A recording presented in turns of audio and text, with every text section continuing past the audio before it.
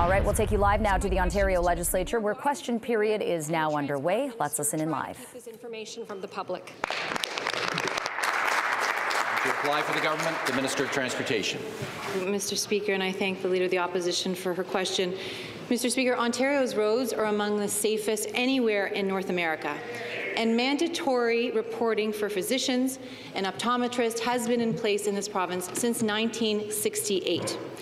The Ministry of Transportation oversees a rigorous process that adheres to national medical standards, and Ontario's program is closely aligned with that of other provinces.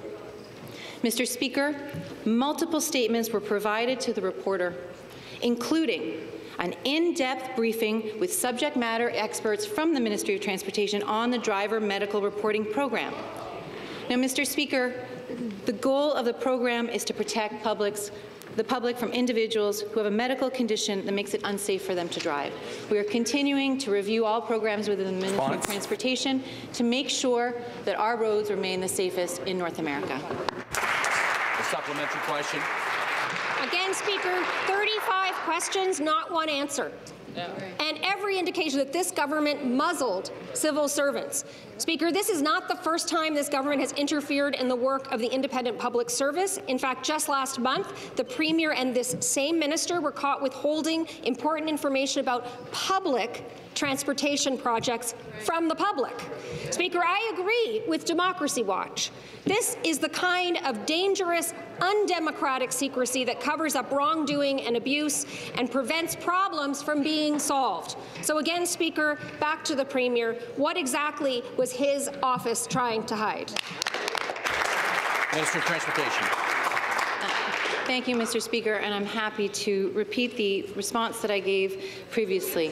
Mr. Speaker, Order. multiple statements were given to the reporter in question, including an in-depth briefing by Ministry of Transportation officials on the, on the program itself to answer their questions directly. Mr. Speaker, with respect to the building of the largest public transit infrastructure program anywhere in North America. Metrolinx has been working closely with community groups and with affected stakeholders.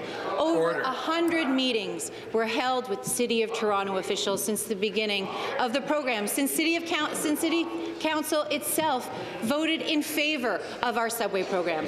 Over 30 meetings Response. were held with a specific member of the opposition, Mr. Speaker, to discuss discuss her, their concerns about issues that are affecting their community members. Mr. Speaker, we're going to continue to work closely with the city and with members.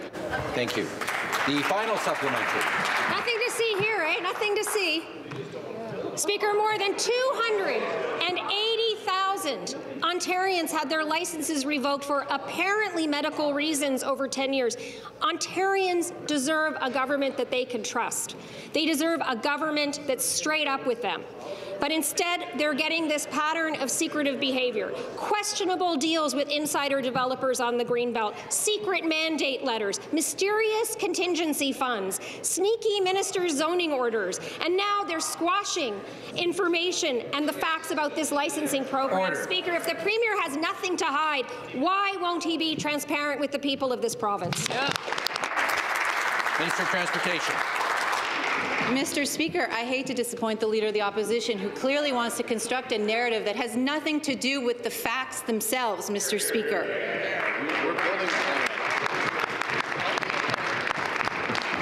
Mr. Speaker, in 2020, our government published a study in conjunction with the University of South Wales and Sunnybrook Health Centre. That study looked at the medical reporting program in Ontario over a 10-year period and found that our program was effective and it saved lives across the province, Mr. Speaker. That is the purpose of the program. As I have said, we have met, we have provided multiple uh, statements to the reporter in question, including an in-depth briefing that that reporter participated in to pose his questions directly to, to subject matter experts. Mr. Speaker, Response. we're going to continue to evaluate the program to make sure that it meets the needs of Ontarians and keeps our roads as safe as they've been among the safest anywhere in North America. Order. Order. The next question, the Leader of the Opposition. No answers from this government. No transparency. Thank goodness we have some accountability because this morning the patient ombudsman released their annual report. They received more than 3,000 complaints last year with one common theme a lack of staffing and a lack of access to care. Hospitals are struggling under this government staffing crisis, and worse, the Ombudsman is warning that this government's expensive, ideological push toward two-tier health care is only going to prolong this issue. So my question is to the Premier, will you stop taking nurses to court, get the lights back on in public operating rooms, and get Ontarians the health care they need? Remind the members to make their comments through the chair. Deputy Premier and Minister of Health to reply. Mr. Speaker, and first of all, I'd like to thank the patient ombudsman.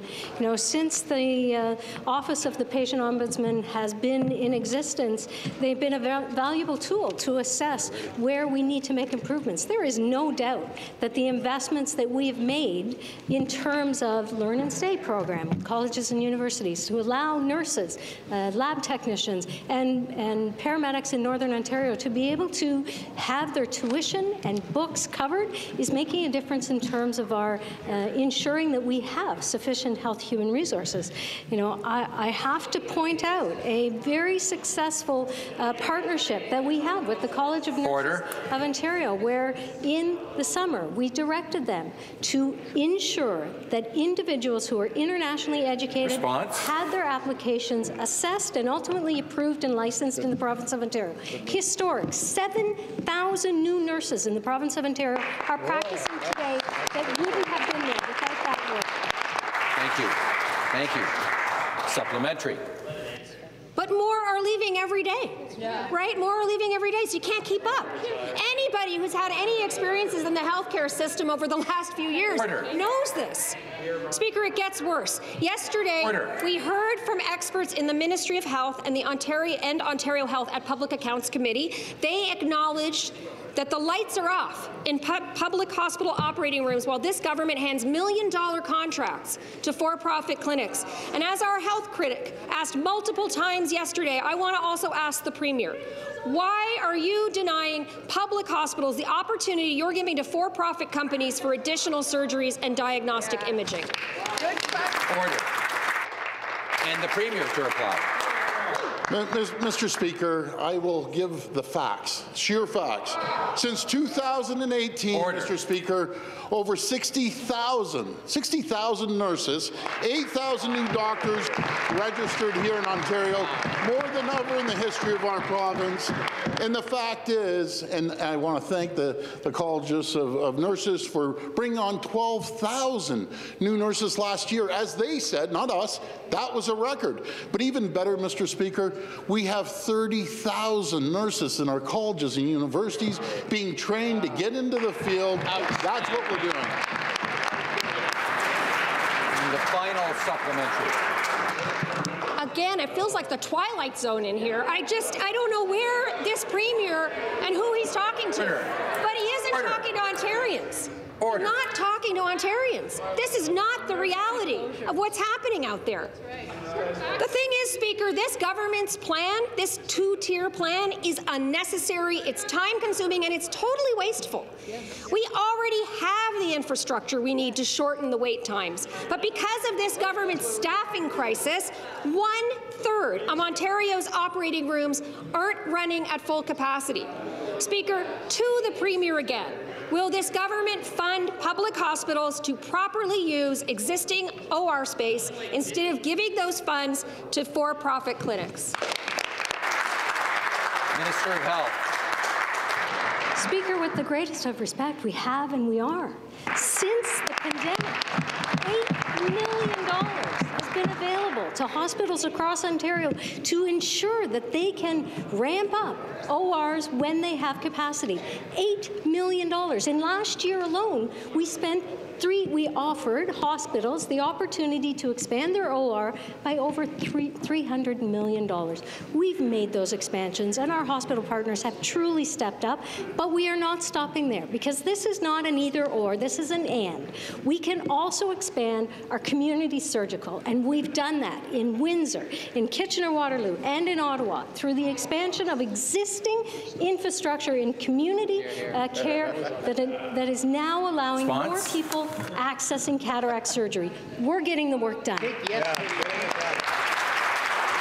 next question, the member for Ottawa West Nepean. Thank you, Speaker. While our kids are struggling without adequate supports, teachers and education workers are Okay, we've been listening into the. Ontario legislature where question period is taking place. A leader of the opposition, Marit Stiles, accusing, accusing the Ford government of its lack of transparency and also criticizing its move to moving surgeries to private clinics and citing the patient ombudsman's report that there were over 3,000 complaints uh, highlighting the strain on the healthcare system.